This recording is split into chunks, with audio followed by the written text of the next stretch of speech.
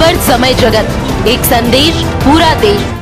डोंगरगांव में चल रहे चौदह दिवसीय क्रिकेट प्रतियोगिता का समापन के अवसर पर रविवार, विधायक एवं कांग्रेस के वरिष्ठ नेता फकीर मोहम्मद साहब का समिति द्वारा स्वागत किया गया।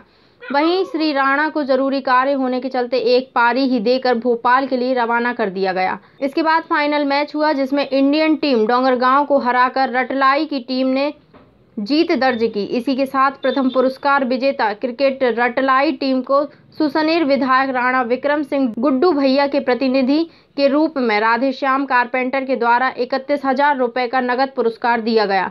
तो वहीं उप विजेता इंडियन क्रिकेट टीम डोंगरगांव को पंद्रह हज़ार रुपए महावीर क्रेशर स्टोन के रमण कुमार व्यास द्वारा पुरस्कार दिया गया।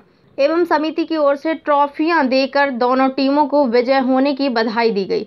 इस अवसर पर इंडियन क्रिकेट क्लब के अध्यक्ष प्रेम सिंह सोनगरा, पूर्व सरपंच विधायक प्रतिनिधि सुभाष दांगी, नगर परिषद विधायक प्रतिनिधि राकेश गुप्ता, नगर कांग्रेस अध्यक्ष रामचंद्र सेन, पूर्व पार्षद यूनुस खान, पूर्व सरपंच हिदायत मंसूरी, काका ठाकुर, कालू सिंह सोनगरा, फारूक उप सरपंच पुरुषोत्तम कारपेंटर, पूर्व उप सरपंच मुकेश जाट कमेंट्री मैन हरीश कोहली, नवीन मुले बजरंग दागी सहित क्रिकेट खिलाड़ियों ने इस क्रिकेट टूर्नामेंट के मुख्य सूत्रधार रहे।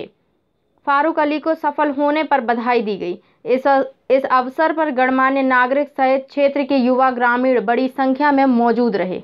नगर के युवा क्रिकेटर युवाओं ने की खेल मैदान की मांग। विधायक ने दिया आश्वासन। शासन से मांग कर बनाया जाएगा खेल मैदान। क्षेत्रीय विधायक राणा विक्रम सिंह गुड्डू भैया ने नगर की युवा द्वारा खेल मैदान की मांग की है। वहीं विधायक के आश्वासन के प्रति उनका आभार भी माना है। खबर समय जगत के लिए डोंगर गाँव से शंकर कारपेंटर काका की रिपोर्ट। खबर समय जगत, एक संदेश पूरा देश।